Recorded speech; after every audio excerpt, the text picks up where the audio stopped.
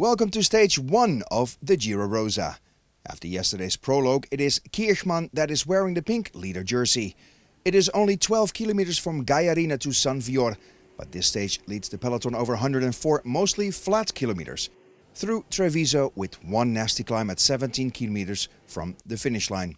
Will there be a bunch sprint or is the climb hard enough to split the peloton into pieces and the breakaway gets a chance of winning this stage. But today is a very strong uh, day and I hope uh, this is a good, uh, good day for my team and for me.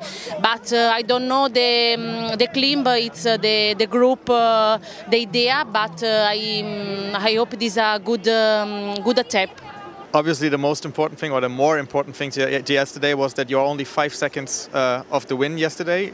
Have you been surprised and does that show that the form is there now? Uh, yeah, I, honestly, I my, my in my head was uh, okay. I want go fast as possible for uh, for win. Uh, I know that uh, probably I'm not strong enough like a, a big rider, but yeah in my head uh, was uh, just a win.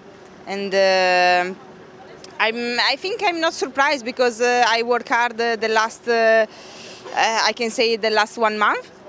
in Aviva also. Uh, I was really died after the Aviva, but I recovery, I think, uh, in a good mood. So now I'm here and uh, we will see stage by stage. You, you won two really good sprints at the Chongming Island. Um, do you expect to be one of the best sprinters here in the Giro Rosa as well? Well, it's uh, so stranger for me because I'm, I'm first time come to Europe and uh, for the road race, it's first time uh, for the Giro Rosa, so I will be do my best in the sprint. yeah. Kirchmann will hope for a bunch sprint, of course, and in that case, she could even keep or extend her lead. After rolling out of Gaiarine, there's one lonesome hero of the day going on the attack. Marta Tagliaferro, Bastianelli's teammate from Ale Cipollini. She rides around 17k at the front and has a lead up to 2 minutes, while Kirchmann's team Liv Plantur is controlling the peloton. But in the more hilly final, the pure sprinters don't really play a role anymore. In the climb of Sarmede, a group of four emerges at the front of the peloton. It is Stevens, Guarnier, Elisa Longo Borghini and Doma. Elisa Longo Borghini takes the point for the GPM and will move into the Maglia Verde. And that's the climber's jersey of this Giro. The four in the front are really an elite group of climbers and contenders for the overall victory. But with Longo Borghini and Doma, it is only plan B for Wiggle High 5 and Rabo Liv. Their GC captains, Mara Abbott and Anna van der Breggen, didn't make it into the group and their teammates now don't want to work at the front. So it's all up to Stevens and Guarnier, and even they're trying to make the others help, but they're biting on stones here. Meanwhile, 45 seconds behind, there's a group of five in the chase that work perfectly together. And it is a beautiful group of riders. Claudia Lichtenberg, Giro winner of 2009, Mara Abbott, Giro winner of 2012 and 13, Giorgia Bronzini, twice world champion, and Tatiana Guderzo, once world champion, and Rasa Leleivytė, a 27-year-old rider from Lithuania. The five come closer and closer, and with one uncategorized climb around 10k to go, they have their opponents in sight. One last time, Stevens tries to encourage Niewiadoma to help, but the Polish champion refuses. Van der Breggen sits in the peloton almost one minute behind, where Liv Plantur is chasing hard for the pink jersey of Kirchmann. Five kilometers to the finish, the five chasers catch the four leaders, and now it is one big group that will probably will hold all the way to the finish line. And that's bad luck for Kirchmann and Liv Plantur, who work hard to get the chase back. But the group in front will be too big to catch. In the peloton, it is still Liv Plantur on the front, still believing in it, with Molly Weaver and Carlee Taylor, who put in a high speed, but they really don't get much closer. In the last 3K, it is Armitstead who made the jump to the front. So Boels has now three riders in the front, just like Wiggle High 5. The two big teams work together while Elisa Longo Borghini is doing the most of the work now.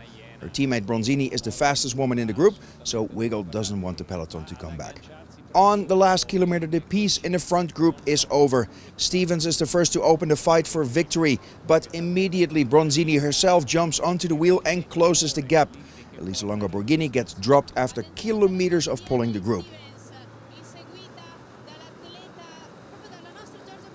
With only 300 meters to go, it's Guarnier who launches her sprint early from the back of the group, but Bronzini is right there on her wheel and comes out of the slipstream and comes out of her slipstream on the last 100 meters.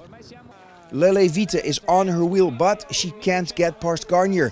So Bronzini wins ahead of the women's World Tour leader and the Lithuanian rider. Giorgia, stage win at the Giro. Um, I don't know how many you have already, but it another stage win in Italy. How important is that?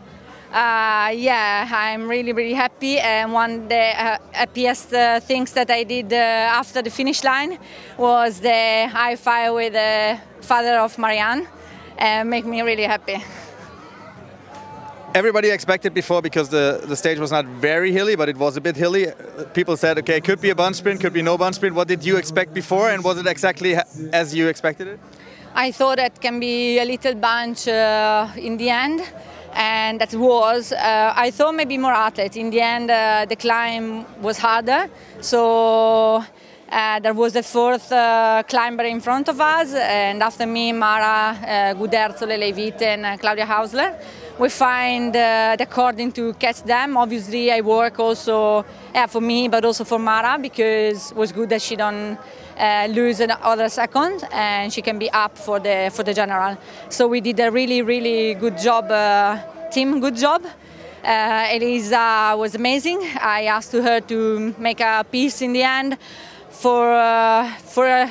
Um, because I was scared, of course, for the attack for Thomas, and uh, I expect uh, the attack from Stevens. So I was ready when she she tried to, to go you made it into the group on the last climb. Can you tell me how the race unfolded from the climb on?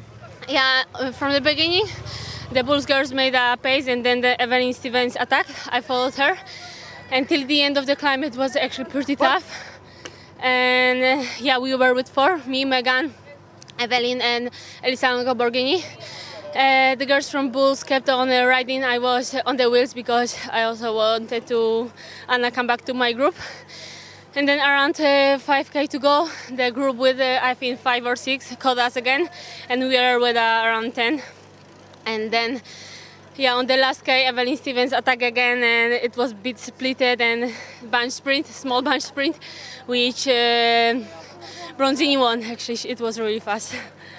we still have a big uh, name like Anna van der Breggen, and for sure, maybe even if she today had a, not her day, uh, we are still uh, with eight days to go, so everything can happen, as we, for example, saw it with the Nibali on Giro.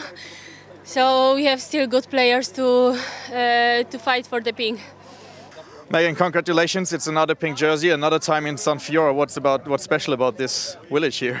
Thank you. Um, I don't know. It's just another hard day in the bike, and the team raced amazing today. And uh, yeah, uh, we put ourselves in the pink already.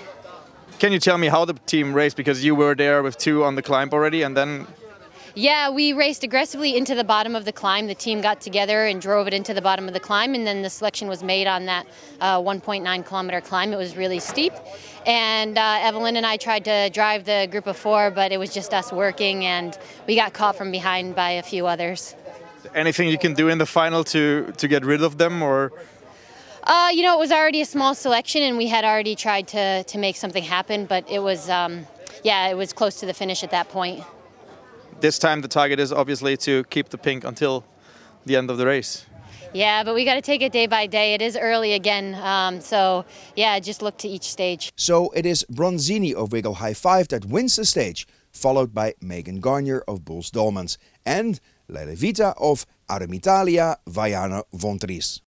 That means we have a new leader in the Giro Rosa. Megan Guarnier is changing her Women's World Tour leader jersey for the pink jersey.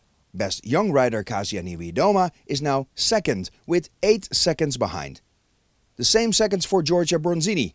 Leleivytė did a great job and jumped into fourth and has to find 13 seconds on Guarnier. Tomorrow there's the first uphill stage finish from Tarcento to Montenars to remember the tragical earthquake of Friuli in 1976.